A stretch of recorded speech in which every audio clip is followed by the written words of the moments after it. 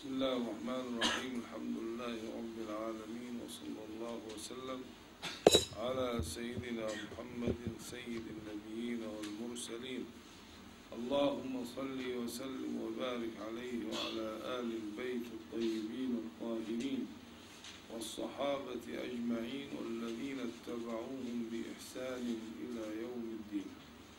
ربنا لا تزغ قلوبنا بعد إذ هديتنا وهب لنا من لدنك رحمة إنك أنت الوهاب. ربنا إنك جامع الناس ليوم لا ريب فيه إن الله لا يخلف الميعاد. وبعد فقد وصلنا في كتاب الاقتصاد في الاعتقاد لمولانا حجة الإسلام وإمام المسلمين.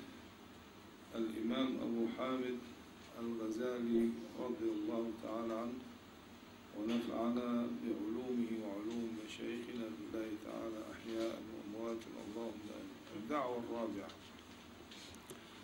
ندعي أن صانع العالم ليس بجوهر متحيز لأنه ثبت قدمه. ولو كان متحيزا يعني الآن يذكر دليل الدعوة أنه سبحانه وتعالى ليس بجوهر متحيز أو ليس بجوهر ولا متحيز لأنه ثبت قدم.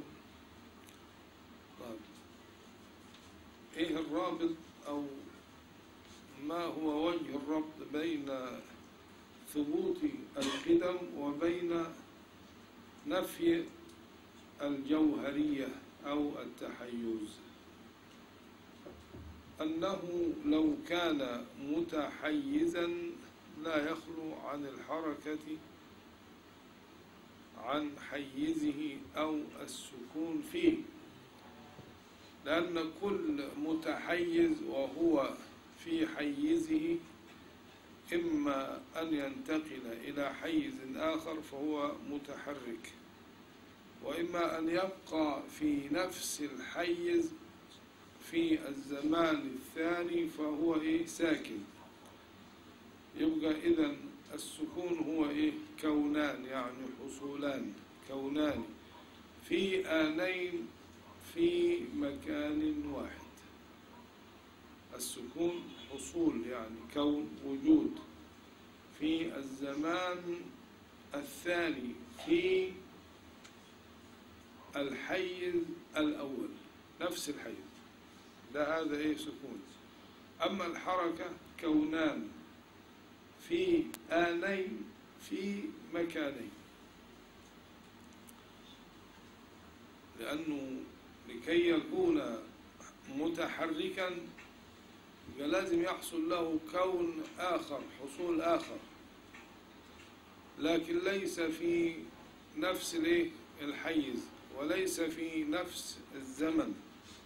يبقى هو كونان اللي هو الحركة في آنين يعني زمانين في إيه؟ مكانين من حيز إلى حيز. أما السكون كونان كونان يعني مش كونان يعني اثنان فأكثر حتى لو مئة. طالما في نفس الايه؟ الحيز يبقى سكون. لأنه مثلا من ساعة ما جئنا ورأينا مثلا هذا الشيء في هذا الحيز. وبعد أن قمنا وفي الزمن الثاني لم ينتقل. يبقى مهما بقي في حيزه ولو مئة ألف كون فيكون ساكنا. يعني هي كونان؟ يعني إيه؟ أقل إيه؟ شيء. وليس كونان يعني المراد بها إيه؟ يعني أقل شيء كونان يعني حصولان. خلاص؟ أو نقول كده إنه التعريف الآخر الحركة هي إيه؟ الحصول الإيه الحصول الثاني في الحيز الإيه؟ الأول. مش كده؟ الحصول الأول في الحيز الثاني. حصول أول في الحيز الثاني أما السكون هو الحصول الثاني في الحيز الأول كده صح؟ وأنا بصحح عليك وأنت تخدعني يبقى السكون هو إيه؟ ها؟ حصول ثاني في الحيز الأول ما هي نفس التعريف حصول ثاني في الحيز الإيه؟ الأول طب والحركة هي الحصول الأول في الحيز الثاني. واضح كده؟ والحركة الواحدة قلنا تقتضي كام؟ ستة أمور ستة.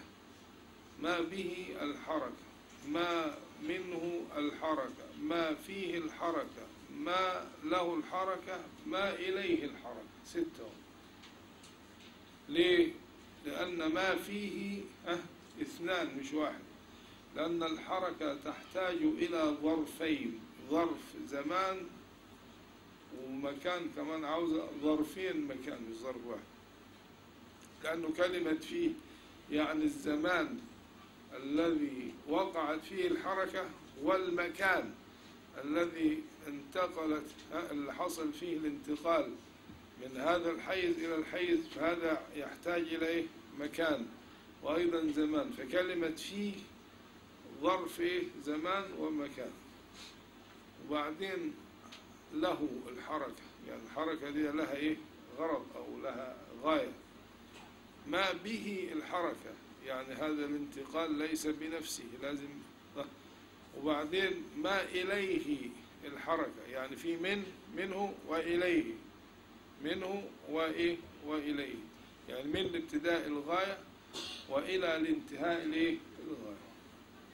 يلا يا شيخ محمد اقرأ. ندعي المصنف رحمه الله ندعي أن صانع العالم ليس بجوهر متحيز لأنه ثبت قدم.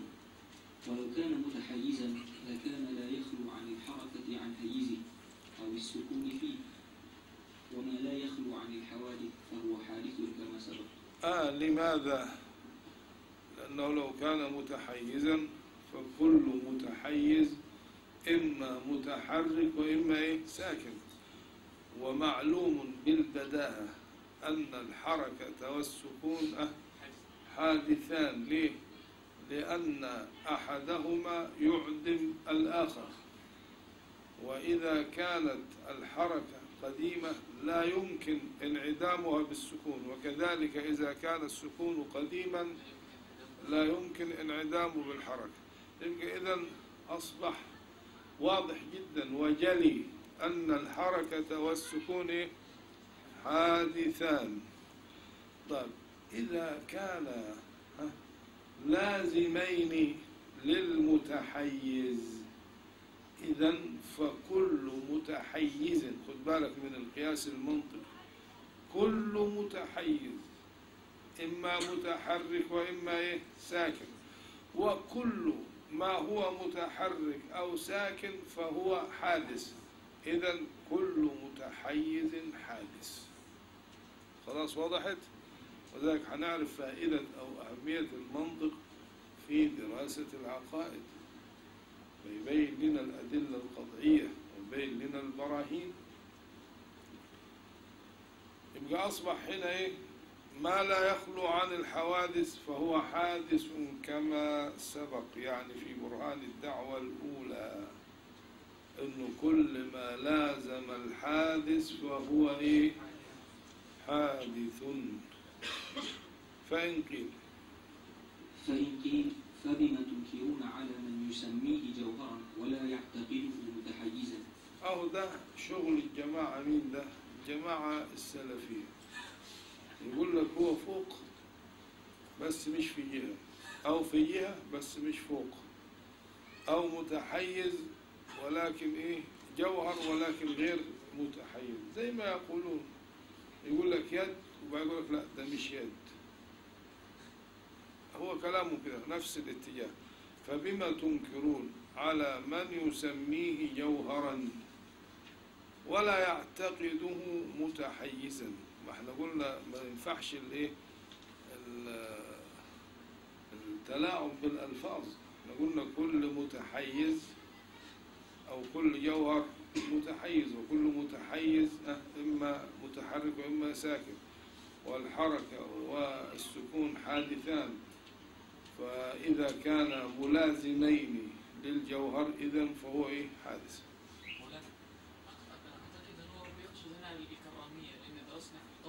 وهو الجماعة اللي إحنا بنتكلم عنهم تبع للكرامية. ولكن الكرامية لم يثبت يعني لم يثبتوا المعنى أثبتوا اللفظ دون المعنى. يعني قالوا مثلا أن الله جسم بمعنى أنه ذات لكن لم يقصدوا بالجسم التركب أما المجسمة هذا هذا الفصل بيننا وبينهم يرجع إلى اللغة. فلا سلطان لأحد على اللغة. هذه الألفاظ لها معاني في اللغة صح؟ صح. فنحتكم إلى اللغة. ما فيش حاجة لفظ في اللغة ثم نقول لكم اللغة تقول كذا وأنتم تقولون أنت لكم لغة أخرى وليست مفهومة. فالاحتكام هنا إلى إيه؟ إلى اللغة. يلا. قلنا العقل عندنا لا يجب الامتناع من إطلاق الألفاظ. آه لو كانت المسألة عقلية إحنا مش مهم الألفاظ مهم الإيه؟ المعاني. العقل عندنا لا يوجب الامتناع من إطلاق الألفاظ. العقل ما يهموش الألفاظ. تسميه جسم يقول لك أنا دخل لي. إذا كان هو راضي بأن اسمه جسم أو إذا كان يحب هذا حتى لو لم يكن جسما وسميته جسم. ما لا إيه العقل لا شأن له بإيه بالمحاككة آه، عند الإيه؟ الألفاظ. وإنما يمنع عنه عن إيه؟ عن أه تسميته أه جوهرا أو تسميته كما كما يقول الأخ. آه لسه أنا عاوز أحفظ اسمك بس مش عارف. اسمك أنت. عقيب رقيب؟ نقيب آه. خلاص أحفظ أنا. آية رقيب عتيد. خليك معنا يا شيخ نقيب. من الناحية العقلية ما فيش ما يمنع. العقل إيه؟ يهمه إيه؟ المعاني والمقاصد. لا تهم الألفاظ. طب أنتوا بتمنعوا ليه إحنا بنقول جوهر بس لا نقول إنه متحيز. مش المشكلة في التحيز لأنه المتحيز يا إما متحرك يا إما ساكن والحركة والسكون حادثان. فلو قلنا إنه إيه؟ آه متحيز هيكون إيه؟ حادث. فإحنا هنقول هو جوهر بس لا نقول إنه إيه؟ أو نقول جسم وننفي عنه إيه؟ بمعنى زي نقول بمعنى ذاته وليس بمعنى معنى التركب بمعنى مت- متركب أو متحيز أو يجوز عليه الانتقال أو تلازمه الأعراض. مش كده؟ هيجينا مانع آخر من ناحية تانية. وإنما يمنع عنه إما لحق اللغة وإما لحق الشرع. ما اللغة دي ميزان. ما ينفعش أنا مثلا العالم كله يقول على هذا حائط حائط الناس كلها الرجال والنساء والإنس والجن والعرب والعجم يقولون هذا حائط وأنت تقول هذا سقف. وتقول له ما هو نفس اللون ونفس الصبة ونفس الخرسانة. ليه ده حائط وليه ده سقف؟ ما كله حائط أو كله سقف. يبقى هنا إيه؟ هنميع الإيه؟ اللغة. لا نستطيع ما في حاجة اسمها في المنطق مبحث الإيه؟ الدلالة. والدلالة فيها الدلالة إيه؟ اللفظية. هي المعيار في علم المنطق بخلاف الدلالة العقلية والدلالة الطبيعية الدلالة اللفظية. يا إما يكون مطابقية يا إما تضمنية يا إما التزامية. وبعدين كل المنطق مبني على إيه؟ على هذا المبحث. قلنا؟ قلنا العقل عندنا لا يجب الامتناع من إطلاق الألفاظ وإنما يمنع عنه إما لحق اللغة وإما لحق الشرع. آه ماشي اتفضل أما حق اللغة فذلك إذا ادعى أنه موافق لوضع اللسان. يعني هو واحد قال لك والله هو معناه كده في اللغة. أنا جبت القاموس وجبت مش عارف المختار الصحاح وجبت مثلا الأساس للزمخشري وجبت لسان العرب فوجدت إنه إيه آه كلمة جوهر مش معناها إيه متحيز. خلاص كده؟ فيبحث عنه. فإن ادعى واصفه يعني اللي هيصف صانع العالم بأنه إيه؟ جوهر. وإنه الجوهر ليس إيه؟ متحيزا. فإن ادعى واصفه به أنه اسمه على الحقيقة أي واضع اللغة وضعه له فهو كذب على اللسان يعني على اللسان العربي.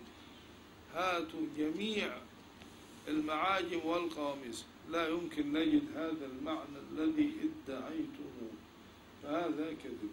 لأن اللغة ليست إيه؟ اللغة سمعية اللغة وضع. وضع واضع. ألفاظ سواء كان يعني الله تعالى ألهم بها العرب أو هم وضعوها أصبحت إيه؟ استعمال محدد. تشوف معاني الإيه الكلمات في أي لغة؟ موضوعة لاستعمالات معينة. إما حقيقة وإما إيه؟ مجاز. إما خاص وإما عام إما كذا. كله بحسب إيه؟ وضع اللغة يعني لم يسمع عن أهل الل- اللسان هذه التسمية. لهذا المسمى.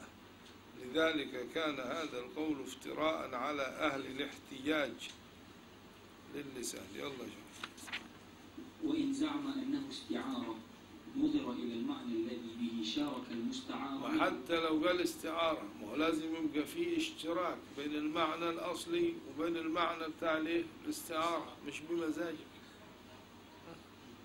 فإن صلح للاستعارة يعني مش كل لفظ ندعي أن لازم يبقى فيه مشاركة بين المعنى الأصلي والمعنى اللي فيه الإيه؟ فإن صلح للاستعارة لم ينكر عليه بحق اللغة. ممكن نتكلف ونخليها استعارة بالعافية. كده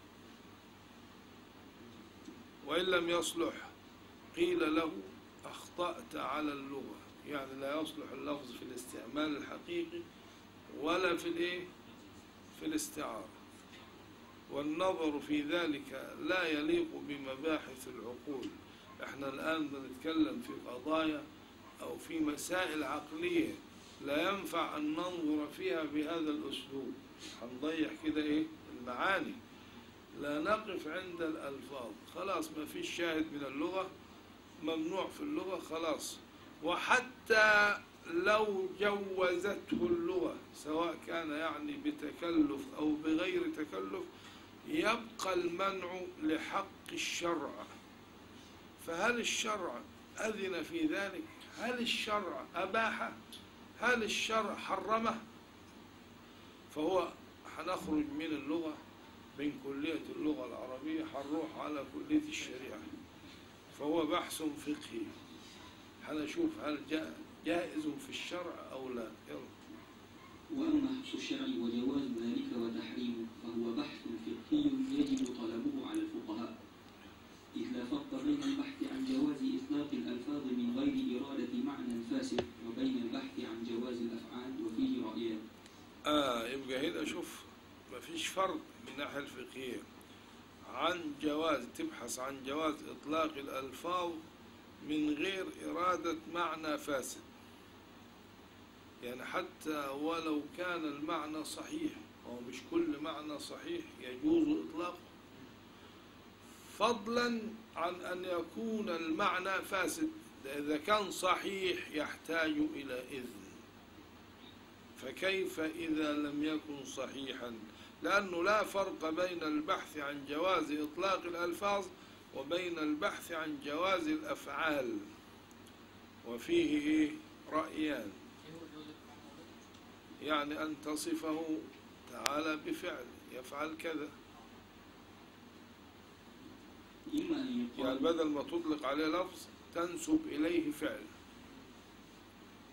يعني مثلا يقول لك إيه؟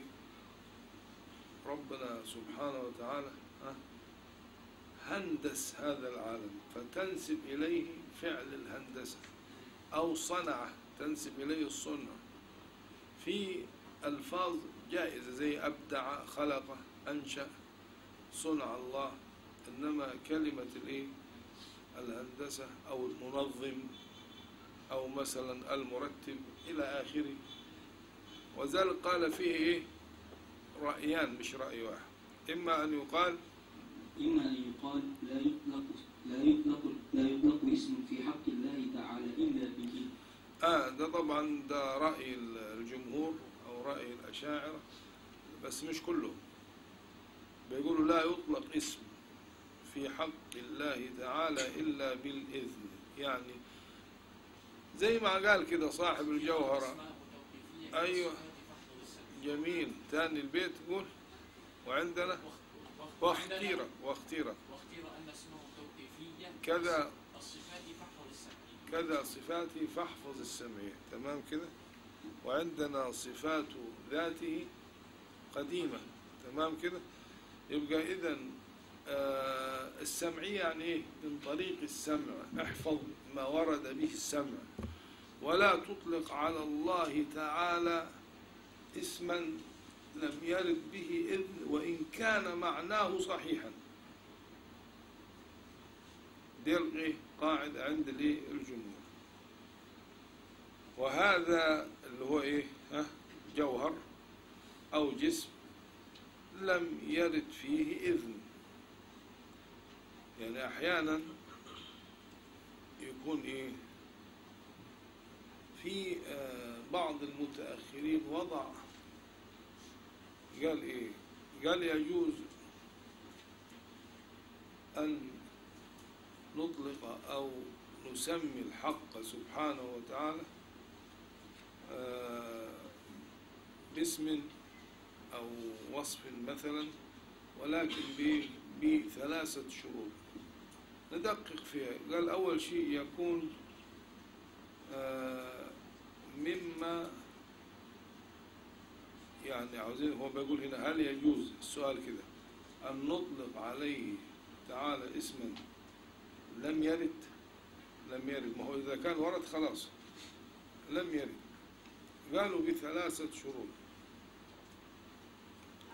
أن تكون المادة وردت. يعني مادته وردت. يعني مثلا الرحيم الرحمن الملك ده ورد إيه؟ الاسم نفسه.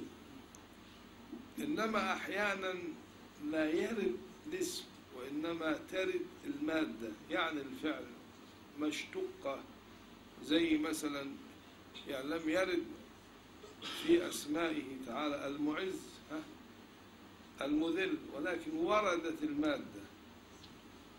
وتعز من تشاء وتذل. فخد من هذا الفعل اللي هو إيه؟ تعز وتذل. أخذ إيه؟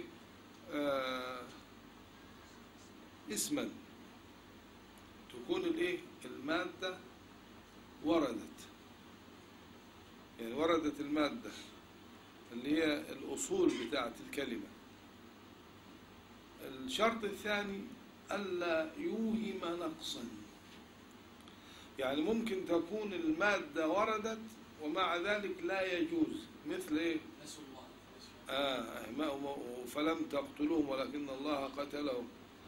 الله يستهزئ بهم ويمكرون ويمكر كل هذا لا يجوز لأنه يوهم الإيه؟ النقص مع أن المادة وردت. فليس ورود المادة وحدها يكفي ولكن بشرط ألا توهم نقصا الشرط الثالث إيه؟ أن يكون ذلك من قبيل الصفات لا من قبيل الأسماء يعني أن تذكر ذلك في معرض الوصف لا تجعله اسما وإنما هو مجرد إيه؟ وصف سواء كان في الناحية العملية أو في الناحية النظرية.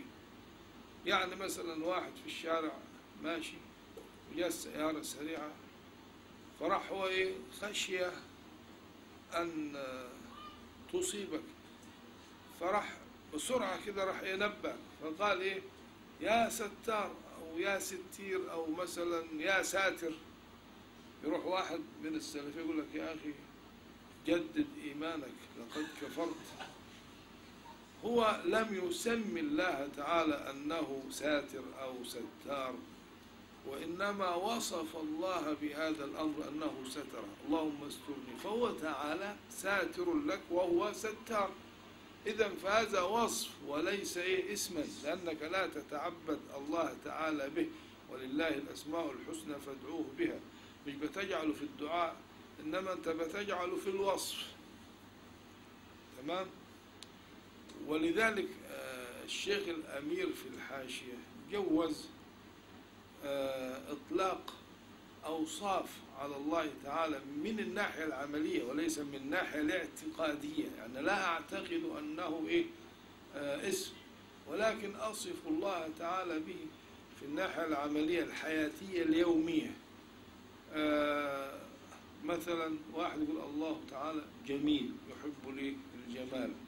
واحد يقول الله تعالى يعني منظم هذا الكون. ولا يعتقد أن له إيه؟ اسم. هو الإيه؟ ال- المنظم مثلا أو الذي يعمر هذا الكون إلى آخره. هذا يسمى إطلاق عملي. حتى أدخل الشيخ الأمير أنه يجوز ولو بالأحاديث الضعيفة. يعني في مثلا حنان ومنان في أحاديث لم ترقى إلى درجة؟ الصحة أحاد أو حسنة لغيرها أو ضعيفة حتى السنة الضعيفة كل ذلك بشرط ألا يعتقد أنه من الأسماء ولكن يطلق من الناحية؟ العملية بل أدخل أنه يجوز إطلاق اسم عليه تعالى بمعنى وصف من جهة القياس القياس العقلي شوف القياس دخل الايه القياس ودخل السنة ولم يشترط فيها الصحة بل قال الحسنة أو الضعيفة إلى غير ذلك. فمثلا قال يجوز أن نقول الله تعالى أو نسميه رازق قياسا على رزاق لأن الذي ورد أو جاء في الكتاب هو الرزاق. فنحن نقول رازق قياسا على رزاق. ونقول واهب قياسا على وهاب. وهكذا. ففتح الأمر ولكن من الناحية العملية. فعندك ثلاث إيه؟ شروط. أول شيء أن تكون المادة وردت. ثانيا ألا يوهم نقصا. ثالثا أن يكون من قبيل الصفات لا من قبيل الإيه؟ الأسماء. إيه الفرق بين الاسم وبين الصفة؟ شوف الأسماء كلها كلها تبقى عارف كلها صفات إلا العلم الذي يوصف ولا يوصف به. الله ده علم على الذات. لا يوصف به فلا تقول الرحمن الله وإنما الله هو الرحمن وهكذا. لا تعكس. يوصف ولا يوصف به لأنه علم. اسمه تعالى الله أو الحق مثلا. وما عدا ذلك كله إيه؟ صفات. ولكن لما كان الله تعالى ليس له فيها مشارك أو بلغ فيها حد الكمال نزلت منزلة الأسماء أو الأعلام. يعني إيه الفرق بين العلم وبين الصفة؟ الصفة ممكن يشترك فيها معك الغير إنما الاسم هو علم على إيه؟ عليك لا يشاركك فيه غيرك. لكن بالنسبة لله أو نقول الرحمن كيف الألف واللام أو الرحيم أو العليم خلاص لا يطلق على غيره. فصار بالنسبة له صارت الصفات أعلاما. لأنه تعالى إيه؟ يوصف بها على الكمال أو على الحقيقة بخلاف غيره. فإنه يوصف بها على الإيه؟ على المجاز وليس على الحقيقة. يبقى إذن كلها سميت بالنسبة لله تعالى أسماء وليست إيه؟ صفات. ليه؟ لأنه بلغ فيها تعالى الحد الأكمل بخلاف غيره. وليس له فيها من يشاركه فهي بمنزلة الإيه؟ الأعلام أو بمنزلة الإيه؟ الأسماء ولذلك ربنا قال ندعو بالأسماء ولم يقل ادعو بالصفات بل نزه نفسه عن صفات المخلوقين ولم ينزه نفسه عن الأسماء وقال تعالى سبحان ربك رب العزة عما يصفون لكن لم ينزه نفسه عن الإيه عن الأسماء أول شرط أن تكون المادة؟ ورد اثنين ألا توهم إيه؟ الشرط الثالث أن يكون من قبيل؟ الصفات لا من قبيل؟ الأسماء عندنا الراجح أنه إيه؟ لا يطلق اسم في حق الله تعالى إلا بالإذن ولو لكن اختلفوا في إيه؟ الذي لم يؤذن فيه أو لم يرد به إذن بعبارة دقيقة ولكنه لا يوهم نقصا. هذا هو الإيه؟ المختلف. فيه أما إذا ورد فيجوز إطلاقه بل يجب إطلاقه حتى وإن أوهم نقصا. طالما هو وارد. ما هو الشكور؟ يوهم نقص. أنه حصلت له منفعة من الغير فيشكر أو الصبور حصل له أذى فتحمل فهذا نقص أو الرحيم اعترته يعني رقة أو شفقة أو تأثر قلبي. مش كده؟ كل هذه توهم نقص ومع ذلك لأنها واردة لا نتكلم فيها لأنها وردت هكذا. أما ما لم يرد هنا ننظر فيه أو هنا يأتي الاختلاف. أما الوارد خلاص لا شأن لنا إيه؟ به لأنه قد إيه؟ قد ورد. وهذا لم يرد فيه إذن فيحرم. وإما؟ وإما أن يقال لا يحرم إلا بالنهي. آه يعني الرأي الثاني أوسع شوي. يعني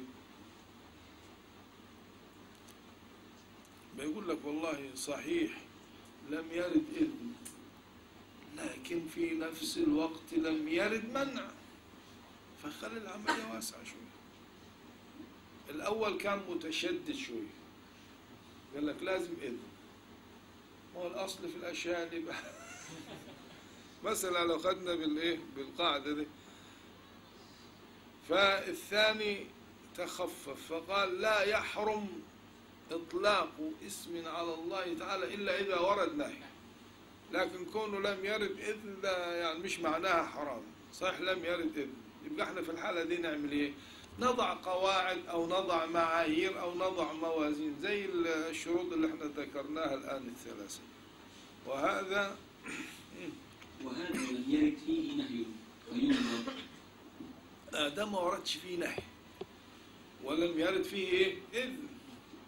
فينظر. فإن كان يوهم خطأ هنا المشكلة موجودة. ده بصحيح ما وردش نهي. لكن ممكن النهي لم يرد في هذا بعينه. يعني لم يرد كذا نص لا تصف أو لا تسم الله بأنه جوهر. لكن في نصوص عامة يندرج تحتها أنه أي شيء يشعر بالنقص أو بالجسمية أو بالمثلية يمنع. مجرد النهي العام مش النهي بخصوصه. فينظر فإن كان يوهم خطأ فيجب الاحتراز منه لأن إيهام الخطأ في صفات الله حرام بل ربما يكون إيه؟ كفر. وإن لم يوهم خطأ لم نحكم بتحريمه. وكلا الطريقين محتمل يعني نأخذ الطريق اللي هو أنه لا بد يكون في إذن أو نأخذ الطريق الثاني ماشي. ثم الإيهام يختلف باللغات. وعادات الاستعمال. أصل كلمة الإيهام دي مش هنعرف نعمل لها ضابط. ممكن عندي أنا لا يوهم وعندك أنت يوهم. أنت مثلا في استعمالك أو العرف أو العادة يوهم نقص وفي استعمال آخر أو عادات آخرين لا يوهم. فرب لفظ يوهم عند قوم ولا يوهم عند غيرهم. فالأحسن الاحتياط. الاحتياط لأنه الخطأ هنا ليس أمرا سهلا ده يتصل بالاعتقاد فإحنا نأخذ بإيه؟ بما قاله بعض المتأخرين أن تكون المادة وردت ألا يوهم إيه؟ نقصا. أن يكون من قبيل الصفات لا من قبيل الإيه؟ الأسماء. وكلمة من قبيل الصفات ده آه احتراز مهم ليه؟ لأنه حيخرجنا من آه، دائرة المنازعة أننا أصلا متفقين أنه لا يجوز اسم إلا به ولكن نحن لم نقل إنه اسم. ولكن جرت به ألسنتنا في أمور عملية حياتية يومية لا يستطيع الإنسان آه، أن يحترز منها لأنه ما أراد إيه النقص بل أراد إيه التضرع وأن يلجأ إلى خالقه. ويمكن أن تكون قد خانته الإيه العبارة يلا. الدعوة الخامسة ندعي أن صانع العالم ليس بجسم لأن كل جسم فهو مؤلف من جوهرين متحيزين آه. أول شيء صانع العالم دي الدعوة ليس بجسم نفي الجسمية طب لماذا؟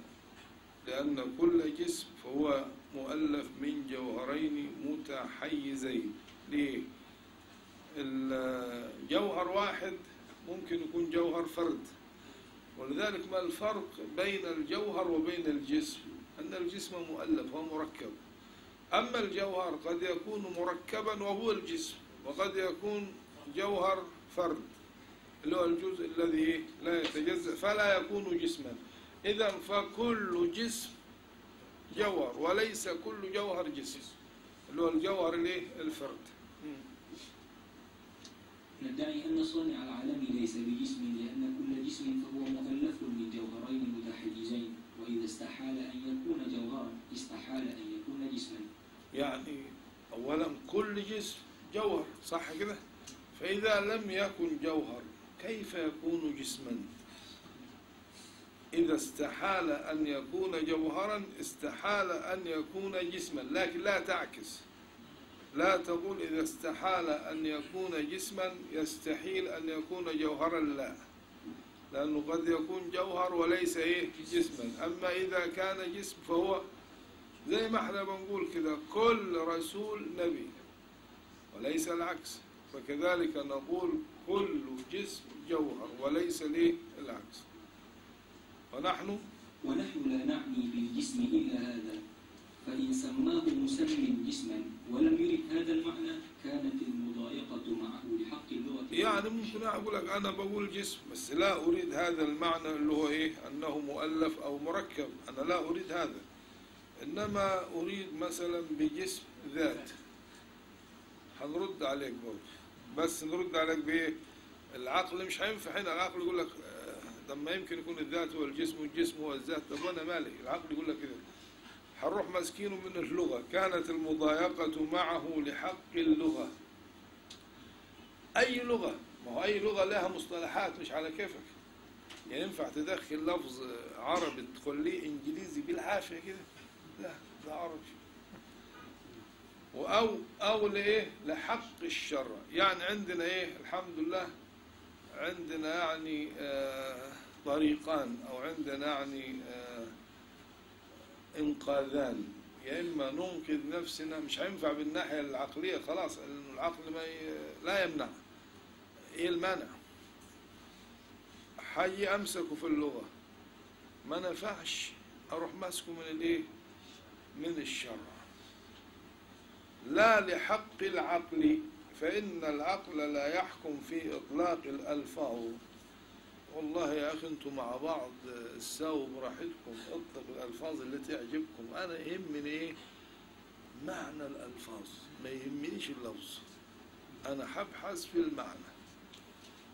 يبقى العقل لا يحكم في إطلاق الألفاظ ونظم الحروف والأصوات التي هي اصطلاحات. ولأنه لو كان ولأنه لو كان جسما لكان مقدرا. آه رجع, رجع ليه؟ ها رجع لل للإيه؟ للدليل العقلي. يقول لك خد هنبطل الجسمية بإيه؟ لو كان جسما لكان مقدرا بإيه؟ بمقدار مخصوص. يجوز أن يكون أصغر منه أو أكبر. يعني لو كان الحق سبحانه وتعالى جسم. يبقى ما مقدار هذا الجسم؟ تعالى الله عما يعتقد المجسمة والمشبهة خيبهم الله خيبة الأبد في الدنيا والآخرة إن شاء الله. لو كان جسم يبقى لابد جسم يعني مؤلف يبقى لابد أن يكون له مقدار. يعني مثلا طول عرض عمق ارتفاع. مثلا هنقول طول مثلا سبعة بأشبار نفسه كما يقول بعضهم أو سبعة أذرع أو سبعة متر أو سبعة أي شيء أي مقدار. والعرض كذا. السؤال هنا هذا المقدار الذي جعلتم عليه هذا الجسم هل كان يجوز أن يكون أصغر من هذا المقدار أو أكبر؟ طبعا طالما في مقدار يبقى إذا كان يجوز أن يكون بمقدار أكبر مما هو عليه أو إيه؟ أو أصغر. صح؟ طب لما كان جائزا أن يكون على مقدار أكبر من هذا المقدار أو أصغر ولكنه صار بهذا المقدار وبهذا القدر المخصوص مع أنه كان جائزا أن يكون أحد الأمرين هو أكبر أو أصغر أو هذا المقدار. هذا جائز وهذا جائز وهذا جائز وهذا جائز بمقدار أصغر أو أصغر من الأصغر أو أكبر أو أكبر من الأكبر إلى ما تقولون. فمن الذي رجح أحد الجائزات هم مش جائزين ده جا- جائزات كثيرة. على الآخر يعني ما الذي خصه بهذا المقدار دون أن يكون على مقدار أصغر أو أكبر مهما كان؟ فلا يترجح أحد الجائزين أو أحد الجائزات على الآخر إلا بمخصص ومرجح. وهذا يعني لا يماري فيه أحد. يبقى إذا يفتقر طالما له مقدار إلى مخصص يخصه بهذا المقدار دون غيره. يعني يخصه بمقدار إيه؟ مخصوص.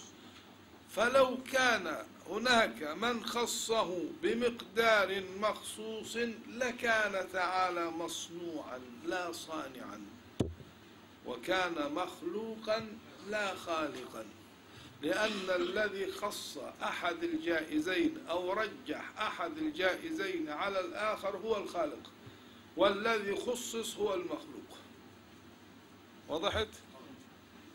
شوف كده الدليل العقلي أنا مش عارف كيف يفهم هؤلاء؟ الدين أو كيف أعطاهم الله تعالى العقول ومع ذلك يعتقدون بال- بالتجسيم والتشبيه وإذا ضيقت الأمر عليهم يروح يلجأ إلى التمحك في اللفظ. يقول لك أنا أقول جسم ولكن لا بمعنى. طب من أين جئت أن الجسم بمعنى الذات؟ مع أنه في اللغة كذا وفي الاصطلاح كذا. هذا دأب الإيه؟ المجسم. يتمحكون في الألفاظ. ثم يقولون عبارات غريبة. يقول لك إيه؟ نصف الله تعالى بما وصف به نفسه. وبعدين لما تيجي تحقق في هذه العبارة تجدها كذب.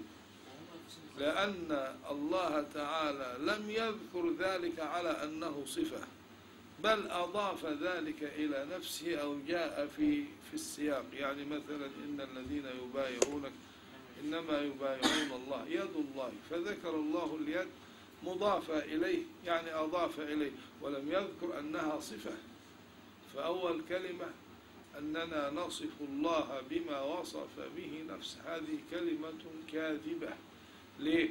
لأن الله صحيح ذكرها وأضافها إلى نفسه مضاف ومضاف إليه. لكن لم يقل إنها صفة. لم يصف الله تعالى نفسه في الكتاب كله ولا في السنة بأن له يد ولا بأنه ليس له يد. فاليد والوجه كل هذه إيه؟ إضافات فلماذا نجعلها إيه؟ ها؟ نجعلها صفات الصفات زي وهو العليم الحكيم الملك القدوس السلام هذا الصفات إنما عارف آه، مثلا إيه آه، شوف كده آه، ما في آية فيها إيه؟ إن الله هو الرزاق ذو القوة. كان ممكن يقول ذو اليد مثلا؟ قال ذو القوة. مع أنه لما وصف سيدنا داود قال ذا الأيدي ولم يرد بها الإيه؟ الجارحة وإنما أراد بها النعمة أو الفضل. واذكر عبدنا داود ذا الأيدي. مرة نازعتني فتاة خليجية تقول كيف يا أخي ربنا يقول يد؟ وأنتم لا تعتقدون. سبحان الله. مش معانا العرف ومعانا المنطق ومعانا اللغة ومعانا إيه الكلام ده. ده في عرف الناس حتى في آه، بلاد الخليج أو في مصر.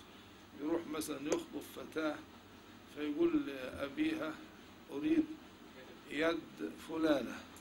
لماذا لا تقطعون اليد وتأوه هو يريد إيه؟ باليد إيه؟ ها؟ الذات بيكني بها. فكيف يعني القرآن نزل بلغة العرب وفيها المجاز وفيها الكناية وفيها وكيف تأخذون بظواهر النصوص؟ والغريب أنك إذا دققت في مذهبهم وفي معتقدهم الأول كنا نقول إيه؟ لازم المذهب ليس بمذهب. يعني يقولون كلام يلزم منه التجسيم ولكنه إيه؟ ليس مذهبا لأنهم لم يصرحوا بالتجسيم. ولكن بعد التدقيق والفحص لا لا يمكن. تبقى في قلبك ذرة شك أنهم مجسمة ومشبهة ولو لم يكونوا هم المشبهة والمجسمة إذا فليس على وجه الأرض مشبه ولا مجسم.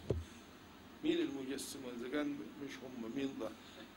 إحنا لا نجسم بل نعتقد التنزيه. وأنتم أيضا لا تجسمون بل تعتقد. إذا فمن الذي يشبه من الجن؟ لم يبق إلا أنتم واليهود. اليهود أيضا يعتقدون في إيه؟ في الجسمية لأنهم صرحوا بذلك. وإذ قلتم يا موسى لن نؤمن لك حتى نرى الله جهرة. فلو لم يعت... يكونوا يعتقدون أنه جسم لا يمكن أن يطلبوا هذا المطلب. جهرة لازم كده يعني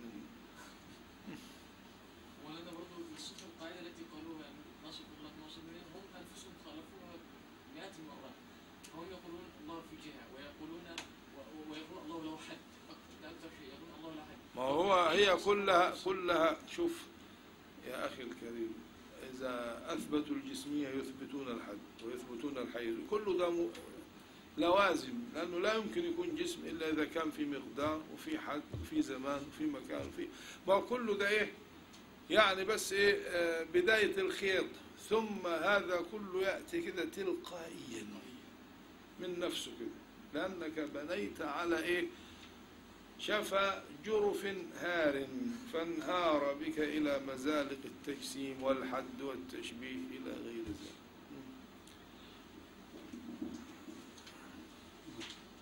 الدعوة السادسة. الدعوة السادسة يلا. ندعي أن صانع العالم ليس بعرب الآن نفينا ليه الجسمية أو الجوهرية وبعد كده الجسمية وبعد كده هننفي ليه؟ العرضية. وذاك أنا عاوز أديك مثلا قاعدة عشان ما تنساش. آه، إخواننا الذين يدعون أنهم على منهج السلف أو على منهج ابن تيمية أو ابن عبد الوهاب أو أو إلى كل ده ما يلزمناش في شيء يعني آه، فإن يتوبوا يكو خيرا لهم. وإن لم يتوبوا هم لن يتوبوا لأن هذه عقائد لا يعتقدون أنها جرائم أو ذنوب يستغفرون منها لا يعتقدون أنها هي الحق. شوف اسمع هو يجي عند إيه عند هذه الأمور يقول لك إيه ليس كمثل شيء يتمسك بهذا كما نتمسك بها نحن بل تمسكه بها تمسك أعمى. يقول لك يا أخي هو ليس كمثل شيء. يروح يقول لك إيه هي يد وحقيقية. بل هذا الشيخ ابن عثيمين بيقول إيه له يدان حقيقيتان. وقال عينان. وحاجة غريبة يعني كنا في مرة كنا في زيارة في ماليزيا كان في الأندلس مش فاكر. فقام شاب في محفل وكان في بيقول إيه مذهبكم أو مذهب الأشاعرة أو أهل السنة باطل. ليه؟ قال أنتم تؤولون فتقولون المراد باليد القدرة. لكن هذا هو القول الثاني. وكل نص أوهم التشبيه أوله أو إيه؟ صحيح التأويل مذكور قبل التفويض لكن عشان النظم. إنما القول الأول اللي هو السلف اللي هو إيه؟ التفويض قال وهذا يبطل مذهبكم لأنكم تقولون إن الله تعالى واحد في إيه؟ في ذاته وفي صفاته وفي أفعاله. فإذا أولتم وقلتم اليد المراد بها القدرة اذا أنتم تثبتون قدرتين. قال تعالى بل يداه إذا هما إيه؟ قدرتاه. وأنتم تقولون واحد في الصفات. فالتأويل يبطل إيه؟ مذهبكم. وممكن كمان في آية أخرى آه عملت أيدينا الجمع فكيف تقولون واحد في صفاته والقدرة صفة واحدة ثم تقولون بقدرتين أو أكثر؟ هذا الذي أوقعكم فيه هو إيه؟ هو التأويل. فكان ال- الجمع أكثر يمكن من آلاف فظن الناس أنه يعني جاء الحق. وزهق الباطل. إن الباطل كان إيه؟ أنا وقفت يعني ربع دقيقة. فالسكوت كأنك يعني ليس عندك حجة أو دليل. ولكن قلت له اترك الايه التأويل. وأنكر عليه لأنه تعالى واحد في صفاته. وإذا قلنا بالتثنية أو بالجمع إيه؟ نقضنا المذهب أو المعتقد. قلت لهم أنتم ترفضون إيه؟ التأويل وتأخذون بظاهر النص. فأنا قلبت السؤال عليه. فقلت له أنا لا أقول بالتأويل إنما أتمسك بظاهر اللفظ. فهل تؤمن بأنها يد واحدة أو اثنتان أو جمع؟ لأنه نص فيه ذكر يد الله بل يداه أيدينا. فما أنكرته علي أنكره عليك لأنك أيضا حددت إيه ها؟ وقلت إنهما يدان وقلت حقيقيتان. يبقى أنت لم تكتفي بالتجسيم بل ضممت إليه التشبيه لأنك شبهته بالإنسان فالإنسان له إيه؟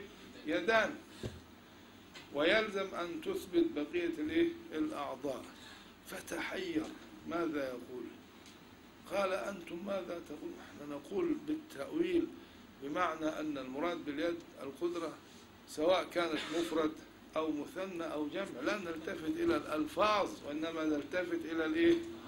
المعاني إنما أنتم وقعتم في إيه؟ أردتم أن توقعوا الناس في حفرة فسقطتم جميعا فيها دون أن تجدوا لكم إيه؟ مخرجا. يلا. ندعي أن صانع العالم ليس بعرب لأننا نعني بالعرب. أنا قلت لك إيه القاعدة قبل أن أنساها وهي إيه؟ ليس كمثل شيء. هم يفهمون عشان تبقى واضح. يقول لك أنا مرة قرأت كده لأحدهم بيشرح نفي المثلية يشرحها كده. شرح يؤكد أنهم مجسمة ومشبهة. فيقول لك يد الله يروح يقول لك أليس للرجل يد وللطفل يد وللحقيبة؟ الحقيبة اللي هي بنمسكها دي إيه؟ لها يد. وبص كده الفنجان يد.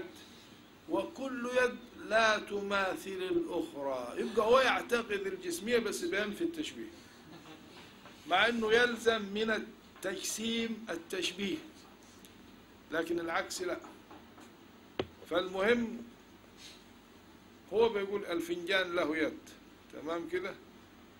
والرجل له يد والطفل له يد والحقيبة له يد والباب له يد وهكذا. وهذا له يد يد امسك اليد يد الباب.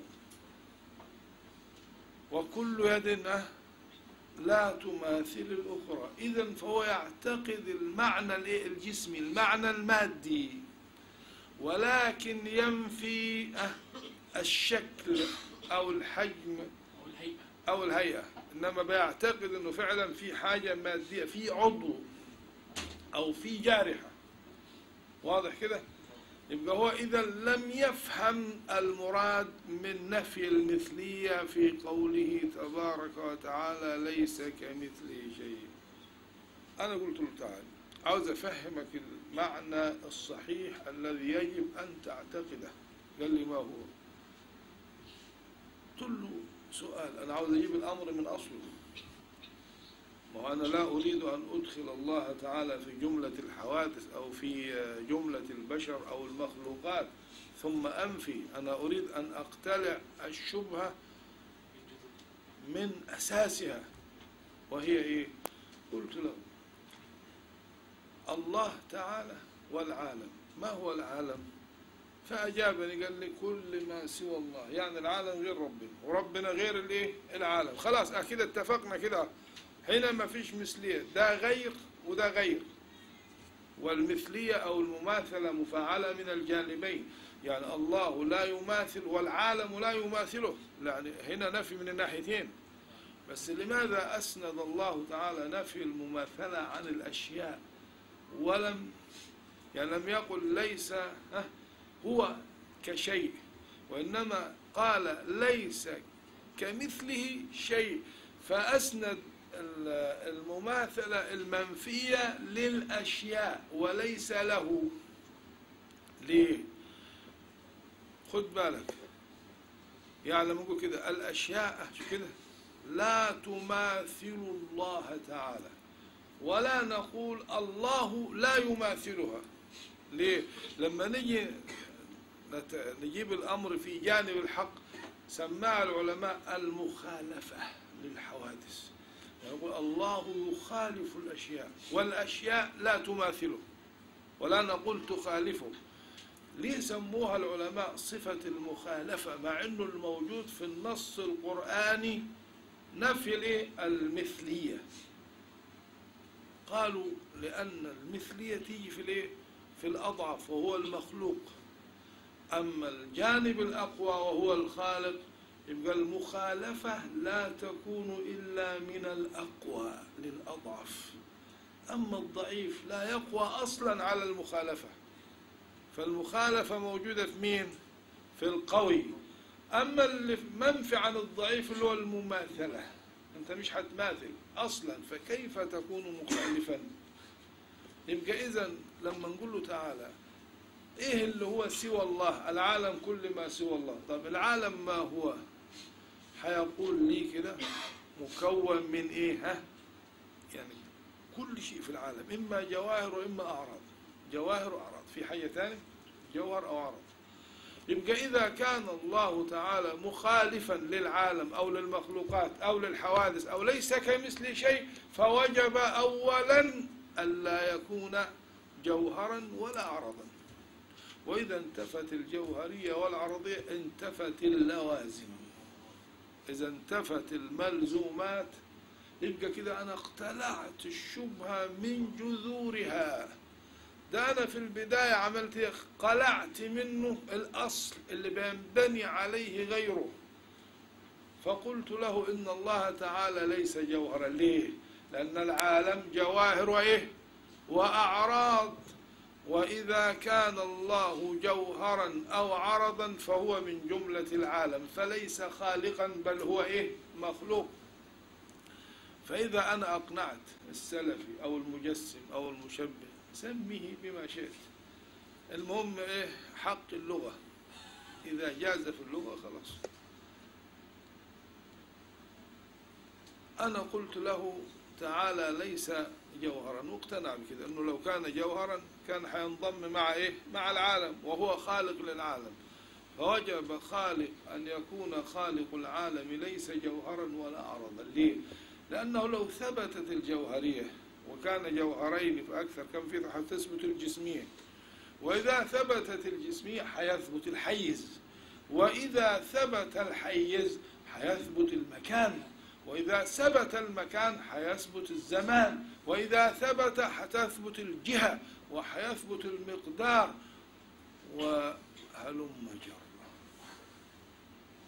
يبقى أنا في الأول عملت إيه؟ قلعت الإيه؟ البذرة اللي إيه؟ كونه تعالى جوهر أو كونه إيه؟ عرضا يبقى إيه ما هو معنى ليس كمثله شيء أو ما معنى نفي المماثلة أو بعبارة دقيقة ما معنى صفة المخالفة للحوادث فتلخصها في معنى إجمالي وفي معنى تفصيلي. ما هو المعنى الإجمالي؟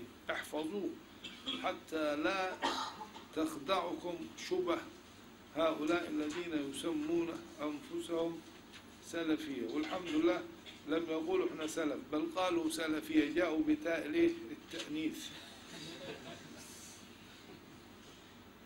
في فرق بين التأنيث وبين التذكير. يعني شوف الحديث أن أصدق الحديث وخير الهدي هدي؟ وشر الأمور محدثاتها وكل محدثة ولم يقل كل محدث. القرآن نفسه محدث ما يأتيهم من ذكر من ربهم محدث وليس محدثة. يبقى محدثة فيها إيه؟ التاء لأن هي المقابلة أه للسنة. والبدعة برضه فيها الإيه؟ التاء. فإحنا نقول لهم تعالوا. إيه المعنى الحقيقي؟ عشان تفهموا فهم صحيح. هو إيه؟ ما معنى آه، صفة المخالفة؟ تقول كده نفي نفي أو سلب الجرمية والعرضية ولوازمهما.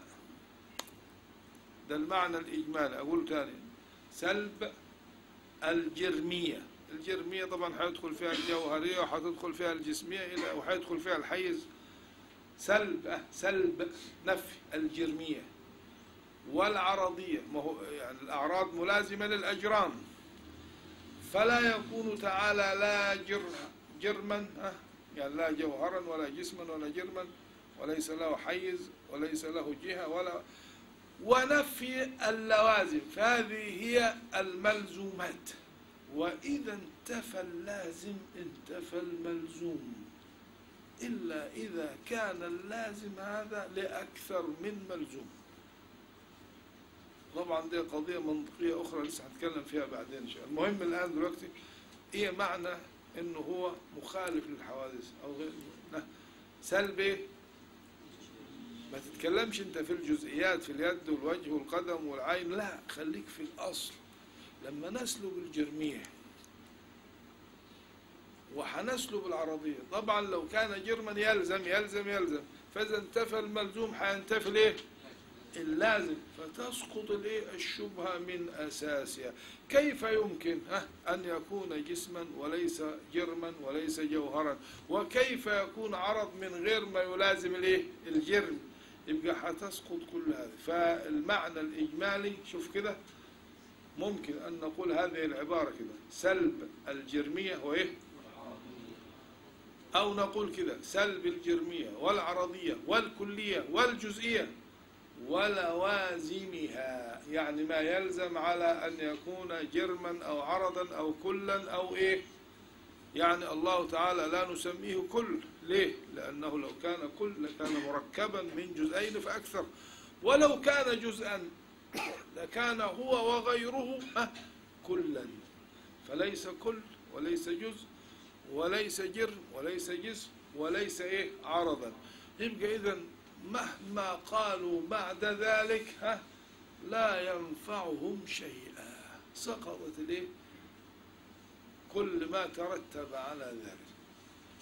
اولا نقول له تعالى أنت مش بتقول ان ربنا سبحانه وتعالى ليس كمثل شيء؟ طب أول أول حاجة الأشياء الموجودة دي عبارة عن أجسام. فلو كان هو تعالى جسم لكان مماثلا للأجسام. من غير كلام. يبقى عشان ننفي مثليته عن الأجسام يجب أن لا يكون جسما. أول بالبداهة كده. كيف يكون جسم وكيف يكون ليس مماثلا للأجسام؟ هذا تناقض. فكأنه يعتقد الجسمية وينفي اللفظ. ينفي اللفظ يعني لفظ الجسمية مع اعتقادها. نقول له لو كان جرما أو جوهرا أو عرضا لكان مماثلا. يجب ألا يكون لا جرم ولا جوهر ولا عرض ولا ما يلزم عنه من الجرمية والعرضية والكلية والجزئية. إذا كيف يمكن؟ إذا لم يكن جوهرا أو جسما أو جرما حينفى التحيز فكيف يمكن ولو استظهروا بالثقلين أن يثبتوا المكان مع نفي الجسمية هذا لا يعقل لا يمكن يدخل في عقل لأنه إذا أثبتوا المكان أثبتوا الحيز. وإذا أثبتوا الحيز أثبتوا الجسمية فماذا يفعلون؟ يروح يقول لك نصف الله بما وصف به نفسه. يروح يرجع لك للدائرة الأولى قل له لم يصف. قل له بكل قوة. لم يصف الله تعالى نفسه بذلك. بل هذه إضافات في سياق يقتضي ذلك. فإن الآية الكريمة مثلا التي ذكر فيها يد الله لم تأتي لتقرير أو لنعتقد أن الله تعالى له يد. وإنما جاءت في تأكيد أو تعظيم شأن بيعة سيدنا رسول الله لأنه صلى الله عليه وسلم بمثابة نائب عن الحق سبحانه وتعالى. فهم في الحقيقة لا يبايعون النبي وإنما يبايعون الله لأن طاعته صلى الله عليه وسلم طاعة لله ولأن بيعته بيعة لله وهكذا. يلا يا ندعي أن صانع العالم ليس بعرض. لأن نعني بالعرض ما يستدعي وجوده ذاتا يقوم به.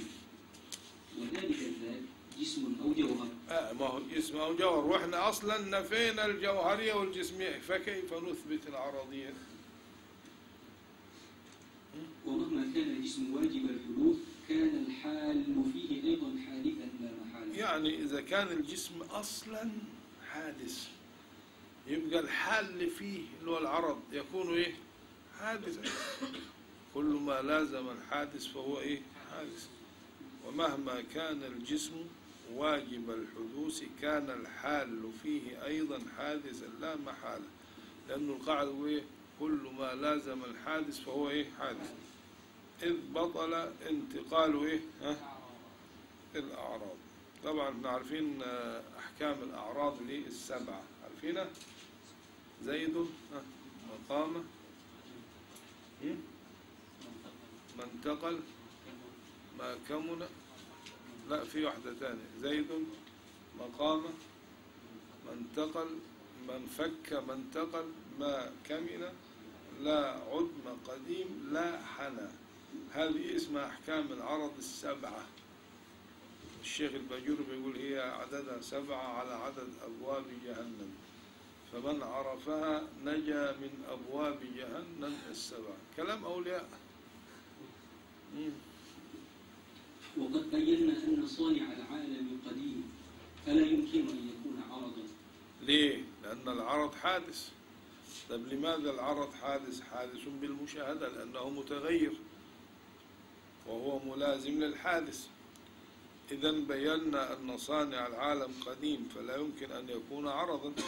وإن فهم من العرض ما هو صفة لشيء من غير أن يكون ذلك الشيء متحيزا.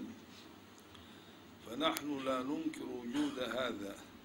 يعني لو أريد بالعرض الصفة من غير معنى التحيز لأن العرض تابع هو ليس متحيزا بذاته وإنما متحيز بتحيز متبوعه اللي هو الجوهر. فإن أريد بالعرض صفة لشيء. وليس هذا الشيء متحيزا. إذا فليس آه، الوصف له آه، يدل على إيه؟ على التحيز. فنحن لا ننكر إحنا مش مش مشكلة لا ننكر هذا. فإننا نستدل على صفات الله. يعني بنجيب أدلة على أن الله تعالى له صفات. وصفاته تعالى لا يقال لها أعراض. لأن الأعراض آه، لا تبقى. أما صفاته تعالى لازمة. يعني لا لا نقول على صفات الله أعراض ولا نقول نعود وإنما نقول صفات لأنه فيها معنى الدوام واللزوم والثبات.